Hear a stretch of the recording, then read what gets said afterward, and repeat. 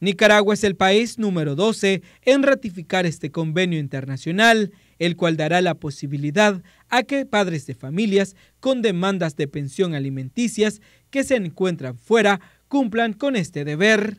Si una sentencia judicial en materia de familia establece un porcentaje de los ingresos de una persona,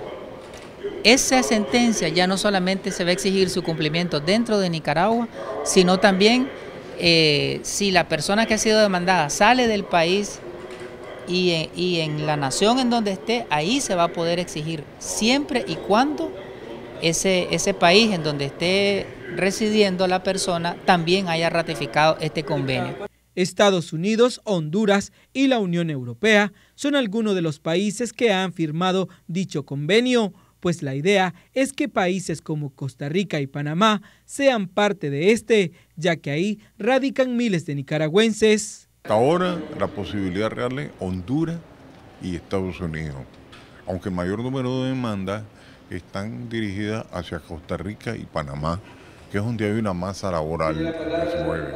Tenemos que confiar de que Costa Rica y Panamá ratifiquen también este convenio que da esta sensibilidad y no vemos nosotros razón por qué estos países se tengan que oponer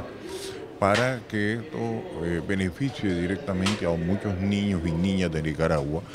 que sus padres han tenido que emigrar, están trabajando y que tienen demandas pendientes aquí en Nicaragua que se internacionalizan. Tenemos que confiar de que Costa Rica y Panamá ratifiquen también este convenio que da esta sensibilidad y no vemos nosotros razón por qué estos países se tengan que oponer para que esto eh, beneficie directamente a muchos niños y niñas de Nicaragua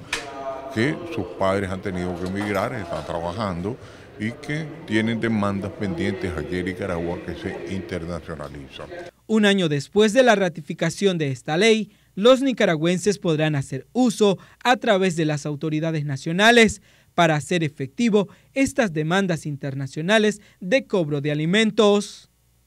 Gerald Chávez, Nicaragua, Voz TV.